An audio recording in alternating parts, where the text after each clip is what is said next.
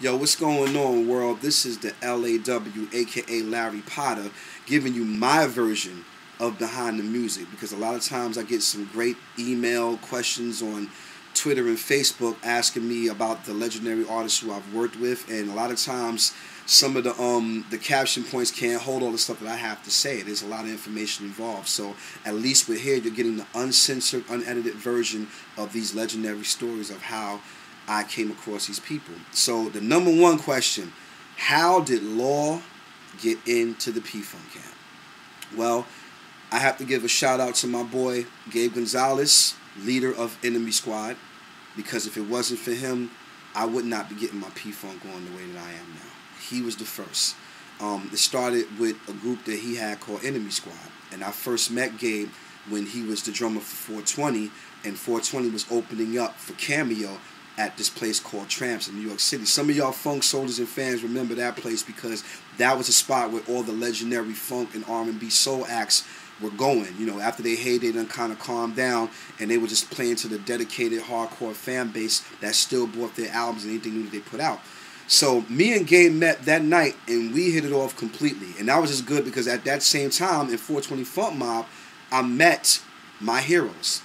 Michael Hampton, Billy Bass Nelson, and the late, my mentor, Gary Starchild Shider. So it was just an honor for me to even meet them. And I knew eventually, of course, I would get to the main dude, which would be George. And that, you know, of course, everybody on Facebook, Twitter, and MySpace know what George Clinton means to me, but we won't get into that. But um, however, we just hit it off. We were talking, and it just so happens that I had my cassette demo with me. Now, you know, Gabe was a little bit more inviting than everybody else, so of course, you know, he was talking, you know, we had a lot in common. You know, he's from the Bronx, I'm from Brooklyn, so we both had New York, but he was residing in Detroit.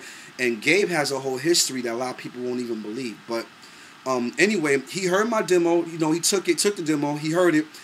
And within a couple of months, they, him and Enemy Squad, which was his group, they started doing shows at Tramps and all these other different local um, club places like like um Don Hills and and Wetlands.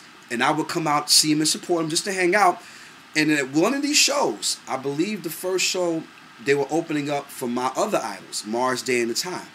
So it just so happens that Enemy Squad was opening up for them. And they snuck in one of my songs, which was I had a joint called Time to Get Stupid on my demo tape. And Gabe liked it so much that he included it in the set that they were doing. So it was one of those nights where he started saying it and the crowd was responding. So I really felt good. It felt good to hear the crowd respond to something I wrote. And all of a sudden, he was like, yo, Law, you come up on the stage. I'm like, word? You know, come up on the stage. Me, I was like, okay, you know, cool, cool, cool, whatever. So I got up on the stage and I started getting the, the crowd involved with the chorus. And all of a sudden, I spit the rhyme and they was going crazy. So next thing you know, I did that and I was content with that. You know, I got a chance to meet my heroes and me and Morris and those guys formed a relationship after that.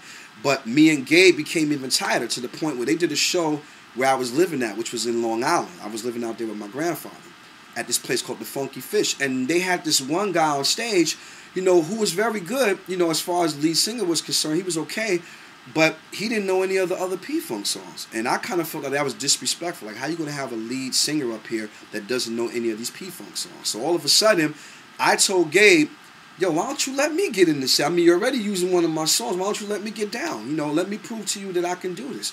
So um, within two months of time, there I was, lead singer of Enemy Squad and touring the West Coast, which eventually led to me meeting George when they came to play with the P-Funk All-Stars in Brooklyn at Wingate Park. So I met George for the first time. We spoke very briefly because, you know, everybody was giving George attention. I wanted to give him his space and everything like that. But I knew that the next time around, it wouldn't be like that. So it just so happens that I want to do some more studio work because, you know, at that time, Enemy Squad, after we did the tour, um, Gabe decided to put the group on hiatus. So after that, um, I started working with few amount of people. So I hooked up with my homegirl, Sarah T, and ended up going to Atlanta and doing some recordings down there. And it just so happens that George was in Atlanta. So I'm in the studio recording. I feel his presence behind me. I'm in the studio doing just doing some stuff. Next thing you know, there's George in the doorway. And George came in. You know, I'm happy. The session, you know, I'm, I'm, my mind is like completely blown. I'm like, George is in the studio with me.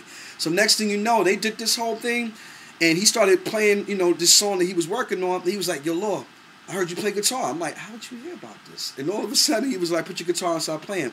I played that whole thing. I was soloing, playing my playing my jump off, and I was cool just that. That night, I went back home. The next thing you know, little did I know that Sarah T played my demo for George. That very next morning, George summoned for me to come out and live with him for a couple of months in Tallahassee, Florida. Rest in peace to GC3, George Clinton's son, who took care of me while I was down in Florida. And George Clinton gave me my first major job as a producer. And after that, it went from me working with George Clinton, the man himself, and building with him, to Chuck Haber and Michael Clip, my other mentor, approaching me about becoming the male main lead singer for 420 Funk Mob. The rest is history. It's been on ever since. P Funk, baby.